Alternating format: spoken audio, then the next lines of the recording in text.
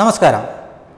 നിങ്ങളിപ്പോൾ കാണുന്ന തടവരയിൽ രണ്ട് വർഷം അഭിപ്രായ സംരക്ഷണ സമ്മേളനം ഒക്ടോബർ അഞ്ച് ബുധനാഴ്ച അതായത് ഇന്ന് നാല് മണി കോഴിക്കോട് ടൗൺ ഹാളിൽ നടക്കേണ്ടിയിരുന്ന ഒരു സമ്മേളനമാണ്. അതവർ മാറ്റിവെച്ചിട്ടുണ്ട് അതവർ മാറ്റി വെക്ക വെച്ചിട്ടുണ്ട്. അതിനവർ പറഞ്ഞ കാരണം വളരെ വിചിത്രമാണ്. അംബിക എന്ന് പേരുള്ള ഒരു സ്ത്രീ അതിന്റെ കാരണമായിട്ടിട്ടിരിക്കുന്ന പോസ്റ്റാണ് ഇനി ഞാൻ വായിക്കാൻ പോകുന്നത്. ഇന്ന് നടക്കേണ്ടിയിരുന്ന ഈ പരിപാടി സംഘപരിവാര ഭീഷണിയെ തുടർന്നുള്ള പോലീസ് നിർദ്ദേശത്തെ തുടർന്ന് മാറ്റിവെച്ചിരിക്കുന്നു. ഞങ്ങൾക്ക് പ്രധാനം സിദ്ദിഖിന്റെ മോചനമാണ്. ഒരു മാധ്യമപ്രവർത്തകനെ അന്യായമായി രണ്ടു വർഷമായി ജയിലടച്ചതിൽ പ്രതിഷേധിക്കാനുള്ള മാധ്യമപ്രവർത്തകരുടെയും ജനപ്രതിനിധികളുടെയും പൊതുപ്രവർത്തകരുടെയും അദ്ദേഹത്തിന്റെ ഉറ്റവരുടെയും ജനാധിപത്യ അവകാശം നിഷേധിച്ച ഈ നടപടി ഈ ഇടത് മതേതര ഭരണം നടക്കുന്നു എന്ന് അവകാശപ്പെടുന്ന കേരളത്തിലാണെന്ന് ഏറെ പ്രാധാന്യമറിയിക്കുന്നു സിദ്ദിഖിന്റെ മോചനം തന്നെയാണ് പ്രധാനം. നിയമപരമായ പോരാട്ടം തുടരും. സിദ്ദിഖിനും കുടുംബത്തിനും ഒപ്പം. ഇനി എന്താണ് ഇതിനകത്ത് സത്യം? സംഘപരിവാറിന്റെ ഭീഷണി കൊണ്ട് ഏതെങ്കിലും ഒരു പരിപാടി കേരളത്തിൽ മാറ്റിവെച്ചിട്ടുണ്ടോ? ഇല്ല. ഇതുവരെ ഇല്ല. സംഘപരിവാർ എതിർക്കുന്നുണ്ടോ എന്നറിഞ്ഞാൽ വർദ്ധിത വീരത്തോടെ അത് നടപ്പിലാക്കാനാണ് ഇവിടുത്തെ ഇടതാവട്ടെ വലതാവട്ടെ ഭരണകൂടങ്ങൾ ശ്രമിച്ചുകൊണ്ടിരുന്നത്. സംഘപരിവാർ അങ്ങ് നോർത്ത് ഇന്ത്യയിൽ എതിർക്കുന്നു എന്ന കാരണത്താൽ കേരളത്തിൽ ബീഫ് ഫെസ്റ്റ് നടത്തിയവരാണവർ. അപ്പോൾ അങ്ങനെയുള്ളപ്പോൾ സംഘപരിവാർ എതിർത്തു എന്ന കാരണം കൊണ്ട് ഈ സമ്മേളനം മാറ്റിവെക്കുമോ? ഇല്ല. പിന്നെ എന്തുകൊണ്ടാണ് മാറ്റിവെച്ച് എന്ന് ചോദിച്ചു കഴിഞ്ഞാൽ സിദ്ദിഖാപ്പന് വേണ്ടിയിട്ടാണ് അവർ ആ സമ്മേളനം പ്ലാൻ ഇട്ടിരുന്നത്. സിദ്ദിഖാപ്പൻ ആരാണ്? പോപ്പുലർ ഫ്രണ്ടിന്റെ പ്രവർത്തകനാണ്. മാധ്യമപ്രവർത്തകനായിരുന്നു. അവസാന സമയത്ത് മാധ്യമപ്രവർത്തകനായിരുന്നില്ല. അദ്ദേഹം പിടിക്കപ്പെടുമ്പോൾ ഒരു മാധ്യമത്തിനും അദ്ദേഹം പ്രവർത്തിച്ചിരുന്നില്ല. അദ്ദേഹം പോപ്പുലർ ഫ്രണ്ടിന്റെ ഔദ്യോഗിക സ്ഥാനത്ത് ആയിരുന്നു താനും.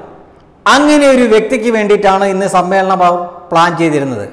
ഇപ്പോൾ പോപ്പുലർ ഫ്രണ്ടിന്റെ അവസ്ഥ എന്താണ്? അത് നിരോധിക്കപ്പെട്ട സംഘടനയാണ്. അപ്പോൾ നിരോധിക്കപ്പെട്ട സംഘടനയിലെ ഒരു നേതാവിന് വേണ്ടി സമ്മേളനം നടത്തിയാൽ എന്തായിരിക്കും എന്ന അവസ്ഥയെന്ന് ബുദ്ധിയുള്ളവർ അവരൊക്കെ പറഞ്ഞു കൊടുത്തതാണ് സ്വാഭാവികമായിട്ടും ആ സമ്മേളനത്തിൽ പങ്കെടുക്കേണ്ടിയിരുന്ന ചില ലീഗ് നേതാക്കളും മറ്റ് സാംസ്കാരിക നായകരുമൊക്കെ നൈസായിട്ട് അങ്ങ് വലിഞ്ഞു.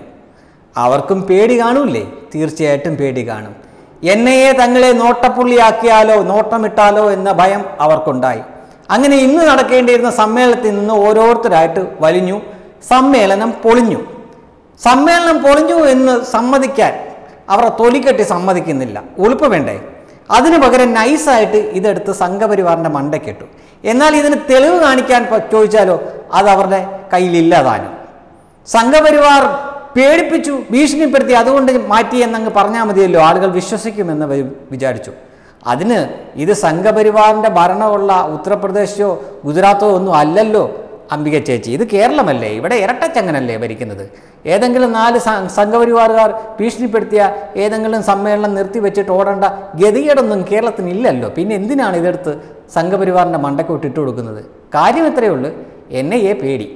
അതാണ് സംഭവം. നിരോധിക്കപ്പെട്ട സംഘടനയായ പോപ്പുലർ ഫ്രണ്ടിന്റെ ആ നേതാവായ ആ, കാപ്പിന് വേണ്ടിയിട്ട് ഐക്യദാർഢ്യം പ്രഖ്യാപിക്കാൻ വേണ്ടിയിട്ട് ഒരു സമ്മേളനം നടത്തിയാൽ തങ്ങളും എൻ ഐ എയുടെ റെഡാറിൽ ഉൾപ്പെടും അല്ലെങ്കിൽ റഡാർ റഡാറിന്റെ മുന്നിൽ അകപ്പെട്ടു പോകും എന്ന സംശയം കൊണ്ട് പേടി കൊണ്ട് ആദ്യം കാണുന്ന കണ്ടം വഴി ഓടി തള്ളിയതാണ്. അതിനാണ് ഈ സംഘപരിവാറിന്റെ മണ്ടക്കോട്ടിട്ടത്. അത് കൃത്യമായും തന്നെ ടി ജി മോഹൻദാസ് പോസ്റ്റിലൂടെ മറുപടി കൊടുത്തിട്ടുണ്ട്. ഇങ്ങനെയാണ് പാണക്കാട് തങ്ങളും മറ്റു ചിലരും വരില്ലെന്നറിയിച്ചു അതിനാൽ പരിപാടി ക്യാൻസൽ ചെയ്തു. ഇതല്ലേ സത്യം?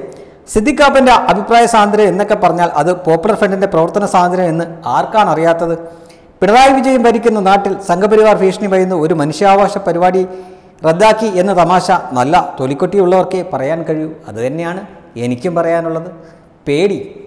എൻ ഐ എ പേടി. ഈ രാജ്യത്തെ ഭരണ സംവിധാനങ്ങളെ നിയമവ്യവസ്ഥയെ ആ രഹസ്യാന്വേഷണ ഏജൻസികളെ അവരെയൊക്കെ പേടിച്ചിട്ട് തന്നെയാണ്. അല്ലാതെ ഒരു സംഘപരിവാറിനെ പേടിച്ചിട്ടല്ല. Web desk Tathwamozhi news.